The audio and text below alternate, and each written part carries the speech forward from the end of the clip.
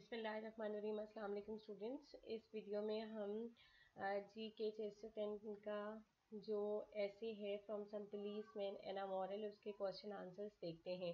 पहला क्वेश्चन है what were the police charges against G K Chesterton and why was he equated के police ने क्या इल्ज़ाम लगाए थे राइटर के ऊपर? और फिर उसको छोड़ क्यों दिया था या उसको रिहा क्यों कर दिया गया था? ठीक है?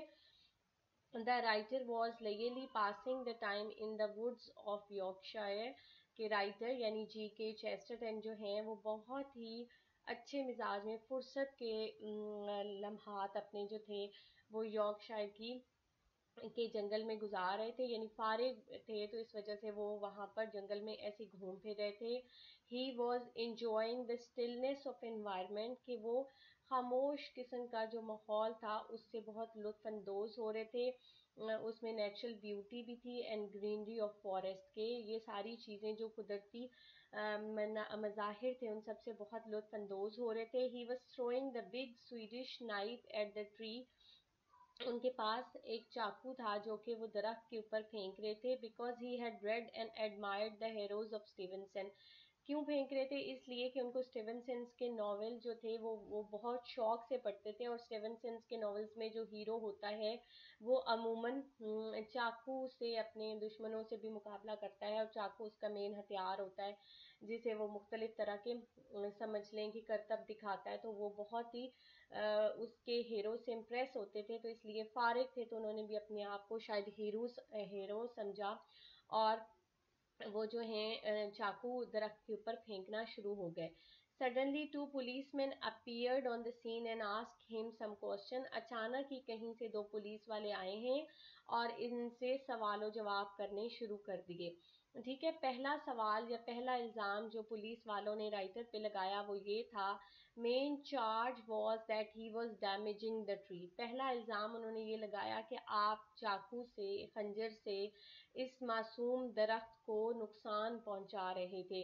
The possession of a knife was considered to be a very suspicious and dangerous और ज़ाहिर है कि इतना तेज चाकू रखना, जो अपनी ज़ाती तहवील में रखना, भी बहुत ही शक का बायस था और ज़ाहिर है ये ख़तरनाक बात भी थी। The policeman investigated him, police वालों ने उनसे तहकीक शुरू कर दी and ask question about his likes and dislikes, his address and so on and so on. और पुलिस वालों ने बहुत अजीब व गरीब तरह के सवाल करने शुरू कर दिए। वो हमने समरी में देखे हैं, आप उसको देख सकते हैं। कि उनकी पसंद क्या है, नापसंद क्या है एड्रेस क्या है, रहते कहाँ हैं जापानीज़ वॉर के बारे में व्यूज़ बताएँ। इसके अलावा उनके मुख्तलिफ़ तरह की और बातें उन्होंने पूछनी कर दी, शुरू कर दी, ठीक है? और उन्होंने कहा क्या? ये कहा कि it was the duty of the policeman to keep an eye on the strangers उन्होंने कहा कि पुलिस वालों की ये ड्यूटी है कि वो स्ट्रेंजर्स के ऊपर अजनबियों के ऊपर नज़र रखें स्पेशली दोज रोमिंग पर्पजलेसली और ख़ास तौर पे ऐसे लोग जो उस इलाके में बगैर किसी वजह के घूम फिर रहे होते हैं। ठीक है?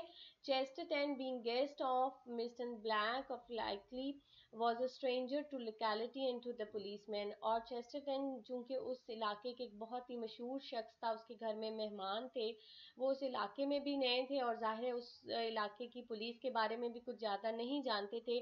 But he was equated as policeman could not substantiate the charges against him लेकिन उनको इसलिए रिहा कर दिया गया कि पुलिस वाले जो हैं, वो उनके इल्ज़ाम को भी साबित ना कर सकें। And importantly he was a guest of a known person of that area और सबसे ज़रूरी बात ये थी कि चूँकि उस इलाके के बहुत ही मशहूर शख्स के साथ वो रह रहे थे। The writer was lucky to establish his identity as being a journalist in the Daily News और एक और बात भी इम्पोर्टेंट ये थी कि राइटर की बहुत खुशकिस्मती साबित हुई कि उन्होंने अपनी आइडेंटिटी शो कर दी, अपनी शनाख्त शो कर दी कि वो एक बहुत मशहूर अखबार में एक जर्नलिस्ट के तौर पर भी काम कर रहे थे। He has also explain that he was a guest at the wealthy and influential family of the locality और उन्होंने ये भी साबित कर दिया कि मैं इस इलाके के बहुत मशहूर बंदे के घर में मेहमान हूँ। He was consider trustworthy and noble because of his connection और ज़ाहिर है इसी वजह से उनको बहुत ट्रस्ट वर्दी समझते हुए उन इल्ज़ाम से बरी कर दिया और उनको रिहा कर रिहा नहीं, यानी उनको पकड़ा तो था ही नहीं। ज़ाहिर सिर्फ़ इल्ज़ाम लगाए थे कि उनको छोड़ के पुलिस वाले जो हैं वहाँ से चले गए। ठीक है, अगर ये सिर्फ़ चार्जेस पे क्वेश्चन आता है पेपर में तो आप इसमें सिर्फ़ इतना ही मेंशन करेंगे। उसके आगे जो सेटायर और मॉरल लेसन है, वो इसका आप आगे मेंशन नहीं करेंगे। ठीक है? अगला क्वेश्चन हम देखते हैं police man in Chesterton essay behave exactly like our own police elucidate ये भी एक दो दफ़ा पास्ट पेपर्स में ये क्वेश्चन आया है कि जो from some policeman and a moral का पुलिस मैन के दो कैरेक्टर हैं, वो बिल्कुल हमारे अपने इलाके की या हमारे अपने मुल्क की पुलिस की तरह से बिहेव करते हैं, इस बात को एक्सप्लेन करें। ठीक है जी? Chesterton has criticized the Department of Police in this essay. Chesterton ने इस ऐसे में पुलिस डिपार्टमेंट पे बहुत ज़्यादा तनकीद की है। It is not only in England but also everywhere else this is exactly what happens ठीक है? कि ये सिर्फ़ इंग्लैंड की ही पुलिस ऐसी नहीं है, बल्कि तकरीबन सारी ही जगहों पे ऐसा ही होता है। In this essay the policeman charge the writer with the damaging of a tree with a small knife police वालों ने जैसे ही राइटर के हाथ में चाकू देखा तो उन्होंने उस पर इल्ज़ाम लगा दिया कि तुम एक दरख्त को जो है वो नुकसान पहुँचा रहे हो। Firstly, they insulted him, but they left him when the writer told them that he was a journalist and had connection with influential people. उन्होंने पहले तो उसको डांटना डपटना और उसकी इंसल्ट करनी शुरू की लेकिन जैसे ही उनको ये पता चला कि एक मशहूर बंदे का मेहमान है तो उन्होंने उसको छोड़ दिया। The writer concludes that the policeman had different treatment with different people T R E A T M E N T ठीक है? इसमें स्पेलिंग करेक्ट कर लें। राइटर जो है, वो ये नतीजा निकालता है कि पुलिस मैन मुख्तलिफ़ लोगों के साथ मुख्तलिफ़ जो है, वो सलूक करती है।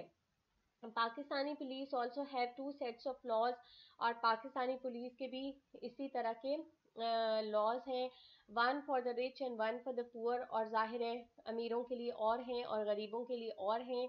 For the rich they have very soft corner. The big crime of an elite class becomes a minor offense. But for the unprivileged class the mistakes becomes crime. के जो अमीरों के बहुत बड़े बड़े गुनाह भी जो हैं, वो हल्का फुल्का सा जुर्म बन जाता है और जो अंडर प्रिविलेज क्लास है, यानी जो गरीब लोग हैं, उनकी छोटी छोटी छोटी गलतियाँ भी उनके बहुत बड़े गुनाह बन जाते हैं they maltreat and malice the poor ones और ज़ाहिर है कि वो गरीबों के साथ बहुत ही बुरा सलूक करते हैं most of the policeman of our country are dishonest and corrupt और ज़्यादातर जो लोग हैं पुलिस डिपार्टमेंट में वो डिसऑनेस्ट भी हैं और वो करप्ट भी हैं They do not respect women, old people, and even the children. This is the reason of the highest crime rate in our country, uh, which needed to be dealt with strict hands. और यही वजह है कि हमारे मुल्क में जो crime uh, rate है वो बहुत ज़्यादा है और इसको uh, कड़े हाथों लिया जाना चाहिए